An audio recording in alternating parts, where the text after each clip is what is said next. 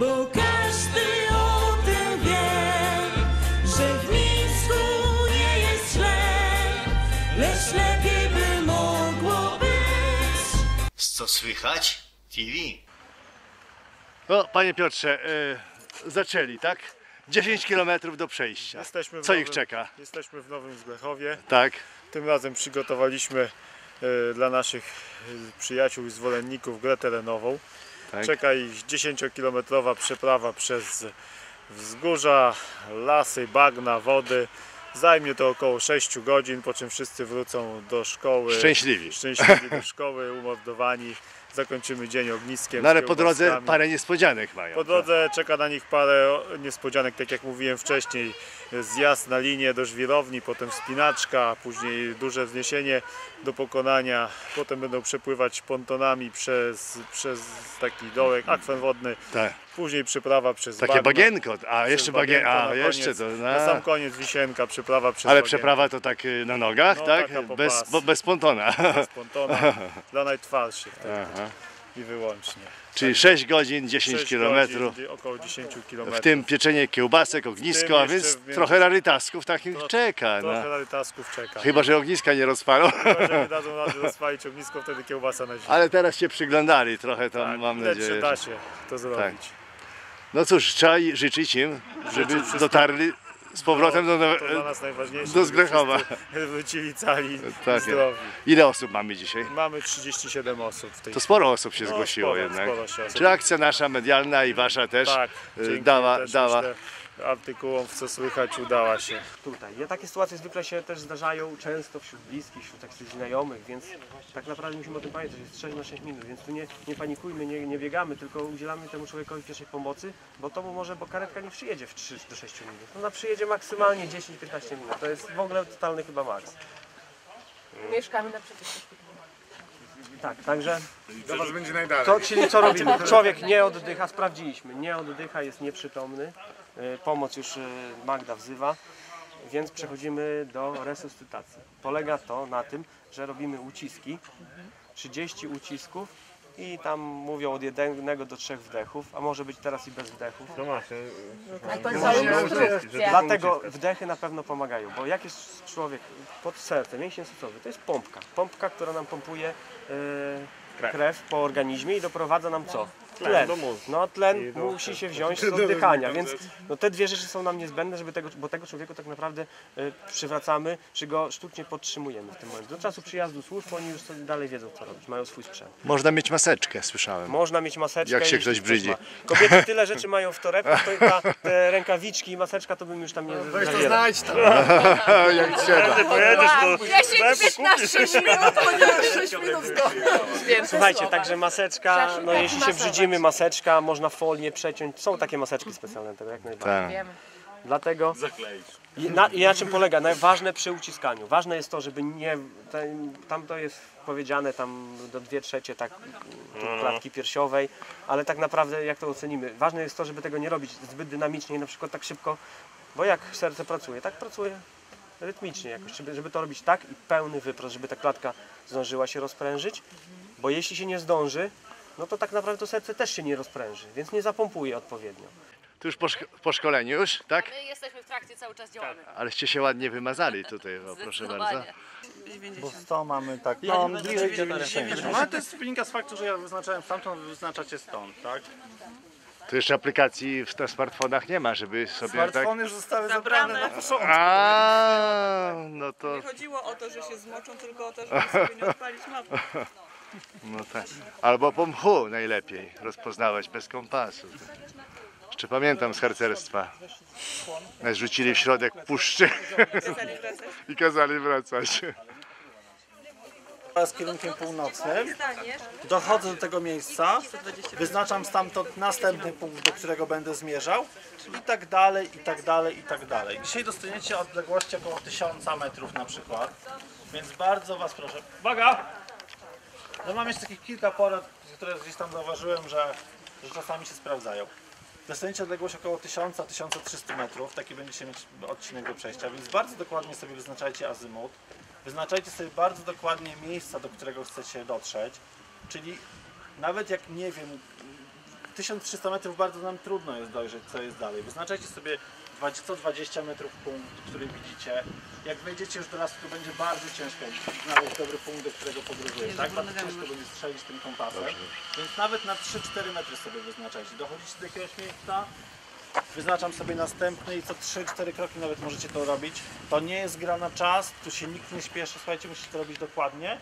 No bo niestety jak się pomylicie, no to sorry, musicie zostawić w tym miejscu plecak i dookoła tego plecaka krążyć, aż znajdziecie odpowiedni punkt. Tak się robi. Dokładnie stawiam plecak, odchodzę na 5 metrów, robię koło, odchodzę na następne 5 metrów, robię koło, cały czas mając w zasięgu swój plecak, bo to jest punkt wasze, waszego odniesienia.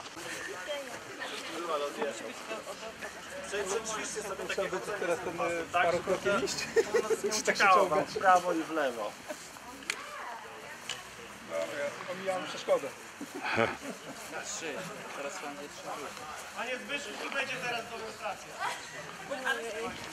To wzywam pomoc, bezpiecznie wam układam, czekam się, że karetka was zabiera. Jeśli jesteśmy w lesie, musimy tego człowieka ewakuować i ma złamaną nogę, więc nie może chodzić, musimy tak, zaopatrzyć go.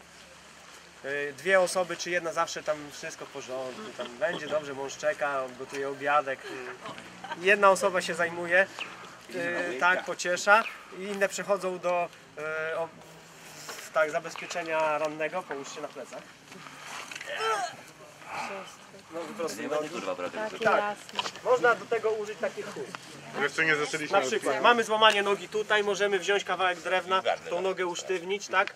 Możemy użyć nogi do nogi, wtedy to robimy tak, że usztywniamy stawy, czyli tu noga, staw i tu wiążemy.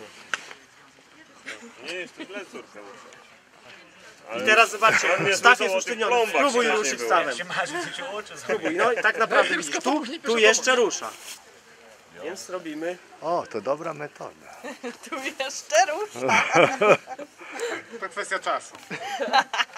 Więc zabezpieczamy jeszcze, jeszcze drugi staw. Dopiero teraz ten worek na głowę, tak?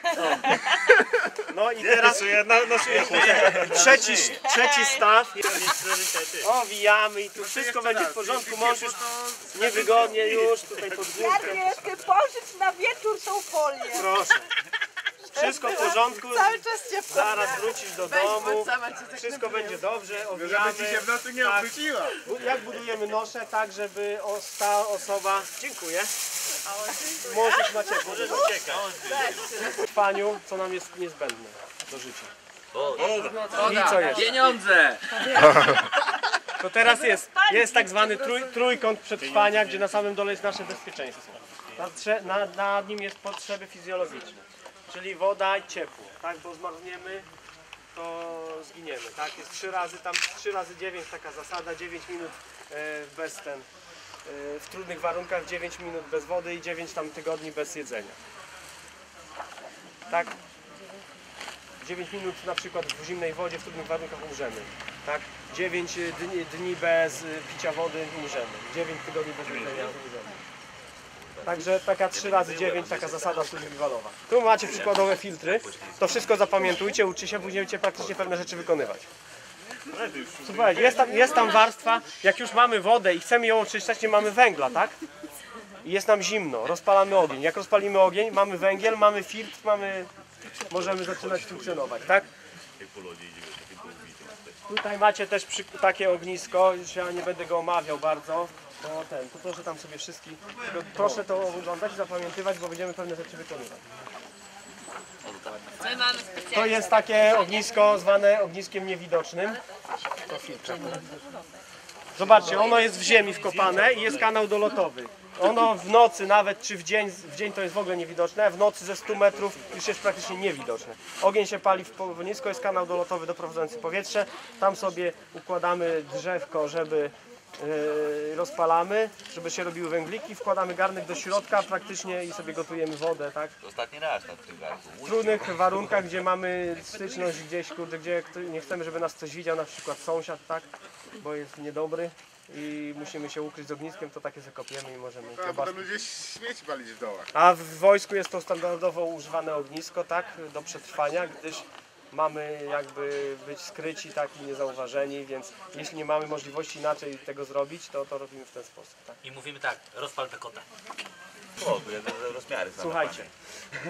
Czyli tak, jak rozpalić ogień? Wodę pozyskać jak? Możemy z bagna, y, możemy z deszczu, deszczówkę możemy pić od razu, tak? Woda po przejściu przez taki filtr jest biologicznie czysta i praktycznie się nadaje do picia. No może mieć chemiczne zanieczyszczenia, czego nie umkniemy. Gotowanie takiej wody już praktycznie oczyszcza ją całkowicie, tak? Czyli ogień, woda, wszystko się ze sobą wiąże. Dwie rzeczy. Jak rozpalić ogień, tak? Do tego są już y, dalej, jak mówiłem, y, potrzeby, umiejętności i narzędzia.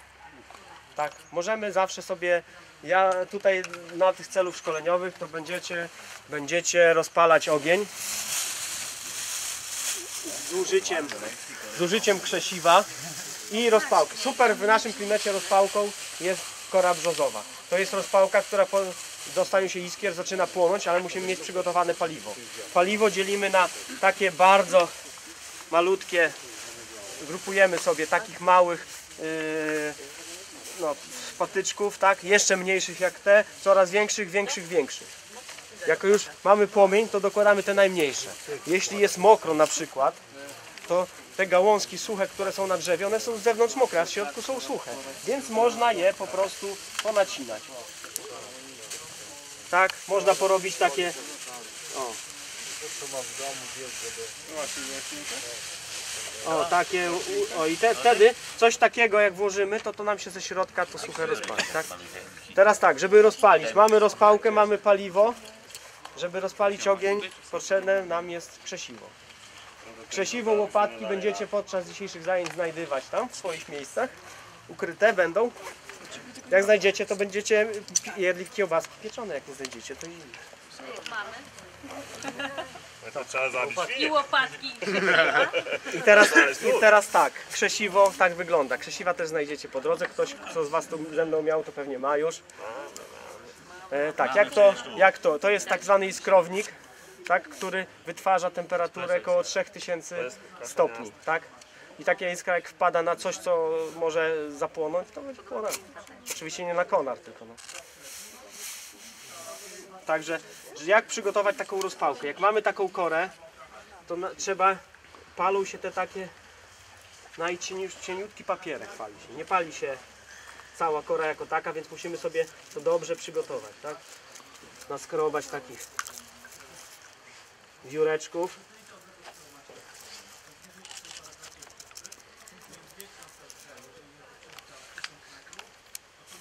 I tym przesiwkiem wtedy rozpalamy.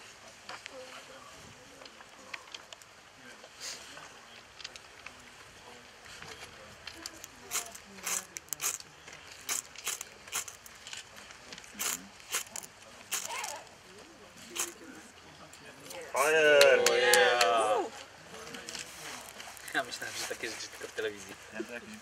Działa? Także wasze zadanie po drodze nazbierać sobie takiej korki, żeby później mieć czym rozpalić. Ktoś będzie czekał w tym punkcie na nas. Przy zegarowego na zakłócenie, który wam przekaże gdzie dalej iść, jak pójść, to potem graniczna. będziecie się poruszać na azymutę. Zapraszam was, do wyjścia już. No i jeden sprawdził na kompasie, a reszta na czuja to zrobiła. Pamiętajcie, że macie kompasy i macie mapy i macie to Ja nie sprawdzać cały czas. Czyli czekaj, my jest Widzę, że panowie mają kompasy, więc niech będą odpowiedzialni za to. Dobra. Pozycjonujecie mapę do północy. tak i to jest to droga. Teraz widzicie, że macie drogę przed sobą. O, tak, Za około dokładnie. 300 metrów będzie mostek. No i tam już działajcie. Czy wzdłuż Dobrze. rzeki pójdziecie po jednej czy po drugiej stronie, to już Lepiej zależy po od was. drugiej. A dlaczego oni jadą samochodem? Bo ja jedę z nimi. Cześć. Możemy już iść? Możemy iść? Tak. Wuju? Dobrze. To pa! Ostatnie pożegnanie.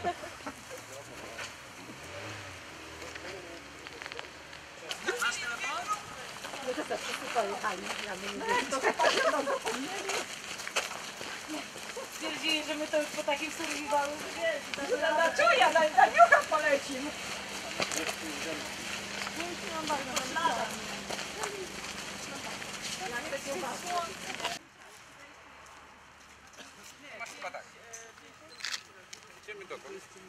Idziemy?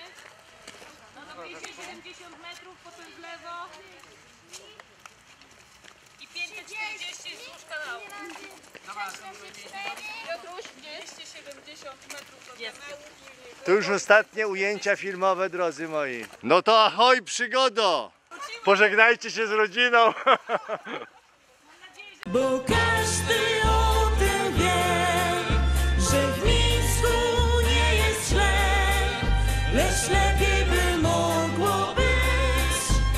lepiej by